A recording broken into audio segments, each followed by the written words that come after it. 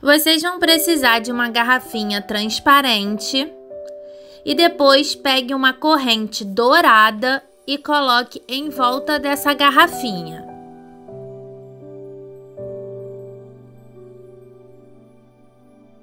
Pegue adesivos de bolinha dourados e também coloque aleatoriamente em volta da garrafa.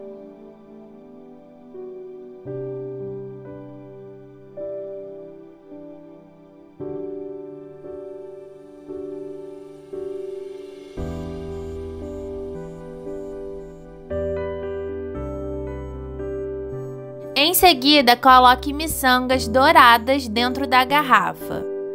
Para finalizar, pegue um papel branco, faça um rolinho com esse papel e coloque dentro da garrafa. E assim ficou pronto o nosso enfeite. Lembrando que essa garrafa é para decoração da mesa do aniversariante, por isso muito ouro, já que é uma princesa.